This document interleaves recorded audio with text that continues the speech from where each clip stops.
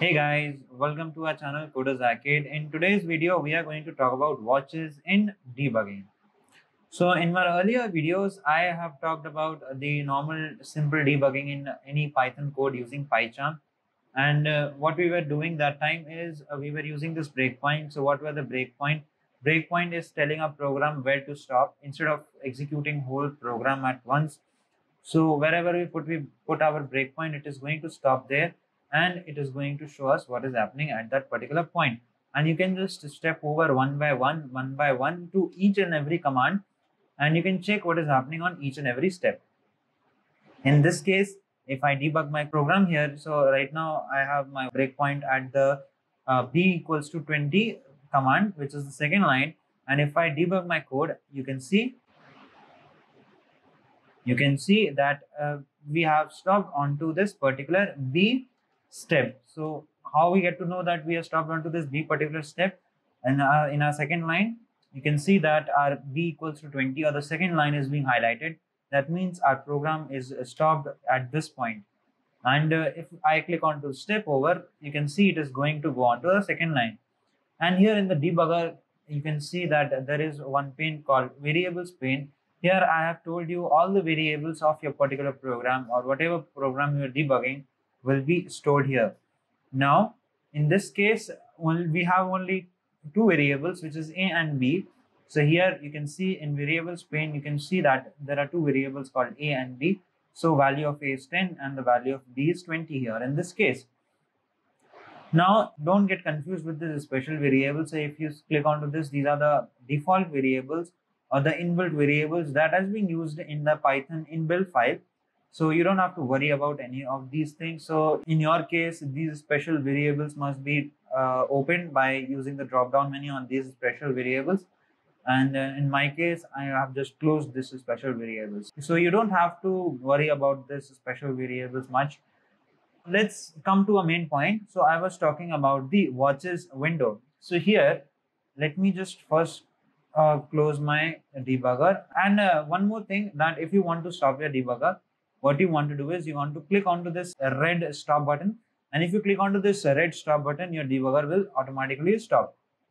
Now let us talk about watches pane. So there are two panes while we use a debugger. So first one as is the variable pane that we were seeing till now. And uh, the second one is the watches pane. So variable basically contains all the variables, but watches pane contains only that particular variable that you want to see, that you want to watch. So let us see. Uh, I'm just going to first uh, put my breakpoint at the first line itself so that as soon as I debug my code, it is going to stop onto my first line. It is not going to execute though. So I'm going to click onto this debug sum. And if I click onto this debug sum, I have to wait something and you can see that our debugger has been started. So now you can see that there are no variables shown in this area right now. Why? Because we have not executed this first line.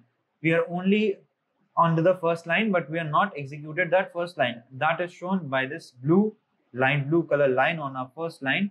It shows that we are onto this step, but still we have not executed it. So to execute and go to the next step, as I have told you, you have to click onto this step over button or you can click onto F8 button on your keyboard and that will execute this line and will jump over to the next line. So if you click onto this button right here, but before that, let me tell you about the watches pane. So as I've told you, watches pane, there are two, uh, there are two panes, which is the variables pane and the watches pane. So here in this case, by default, in today's versions of uh, PyCharm, watches pane is by default hidden into your debugger. So how you can bring out the watches pane? You have to click onto this little specs icon right here. So if you see carefully here, there is one spectacles icon right here. If I click onto this, now you can see that there is another window called watches. So I can just resize it and you can see this watches pane properly. So now we have the variables pane and the watches pane. So variables pane what this what is the difference between the variables pane and watches pane as i've told you earlier variables pane contains all the variables that are used into your program but watches pane is uses only those variables that you want to watch, that you wanted to see what is happening with those variables. So let us uh, see what I'm talking about. So right now I am on to this first line and now I have to execute this line and, and, and I have to go to my second line. So what I can do is I can just click onto this step over.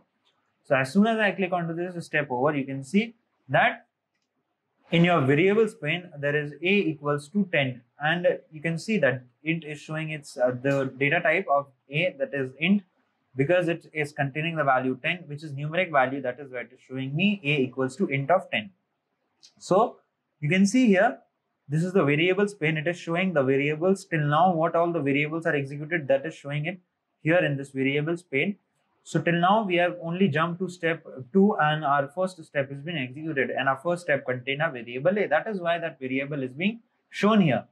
But here on the watches pane you have not see, you are not seeing any variables. So by default watches pane does not automatically adds all the variables. You need to add variables manually into your watches pane to watch over that particular variable.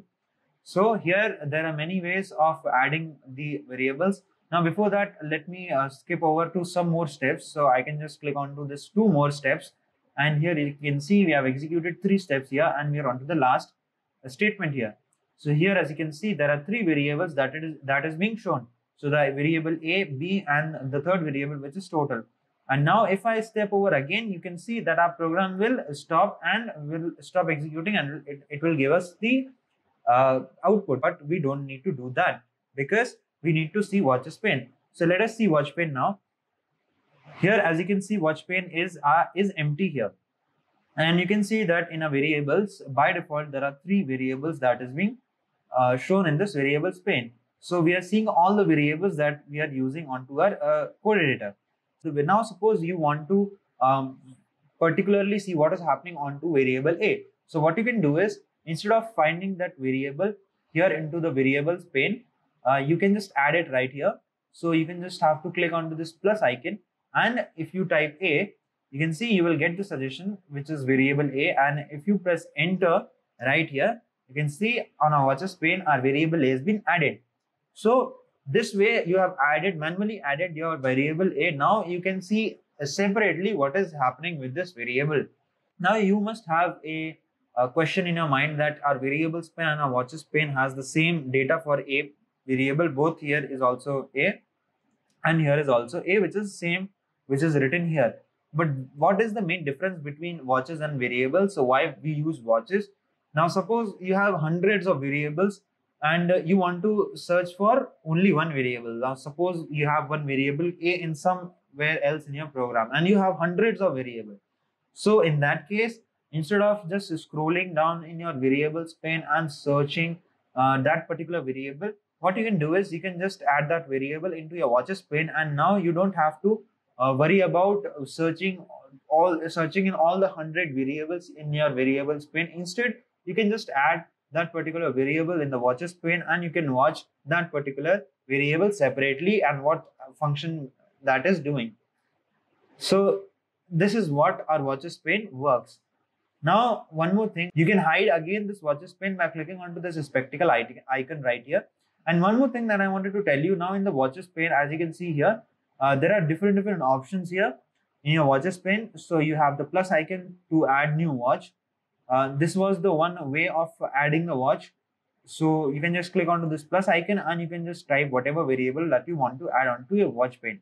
Other thing is if you want to uh, add that particular variable instead of typing it or if you instead of just clicking onto this plus you can what you can do is uh, suppose you want to add the b variable. So what you can do is right click onto the b variable in your variable pane and just click on to add to watches. Now once you do this your b variable has been added here. Now suppose uh, you want to make some duplicate copies of this b watches b watch. So what you can do is you can click onto this icon right here which is duplicate watch and you will get a duplicate uh, variable for your b variable so this way uh, you can duplicate the variable now you can see this uh, move up and move down watch. You can use this to navigate between different different watches.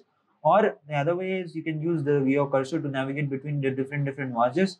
Or uh, this this uh, remove watch this minus button will remove the watch. So if you select onto this uh, uh, duplicated v variable you can just delete it using selecting that and you can just click on this remove watch so this is going to remove the watch and uh, you will be able to remove the watch.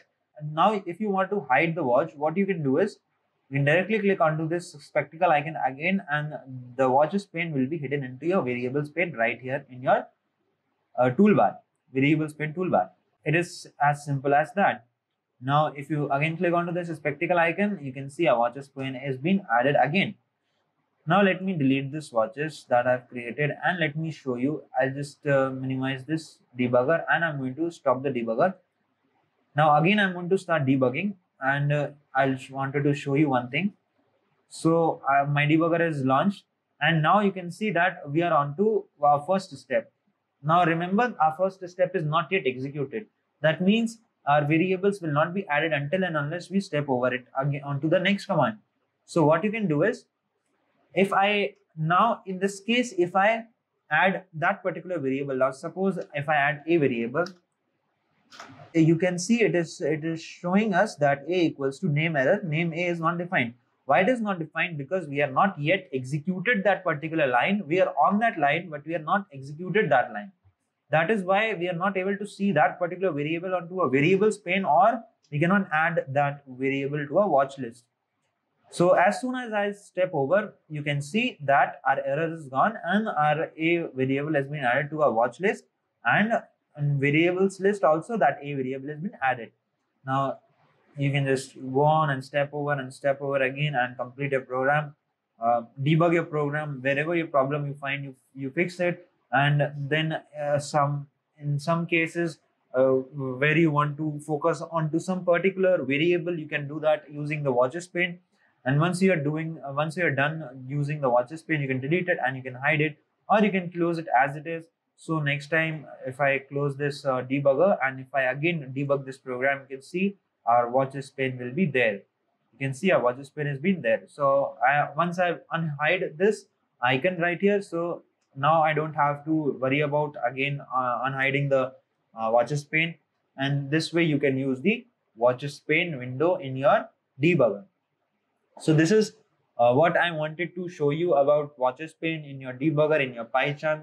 You can debug any code using this debugger and use watches pane in your debugger. So thanks for watching. I hope you have understood. If you have any doubts, you can just post them in the comment section. I will catch you guys in the next one. So this is all about this video guys. Thanks for watching. Hope you like the video and if you like it then tell us in the comment section below. If you have any doubts then post them in the comment section. I will definitely try to clear those doubts. Also like, share and subscribe to our channel Coders Arcade and press the bell icon so that you will get a notification when we post our new video. Thank you. Happy learning.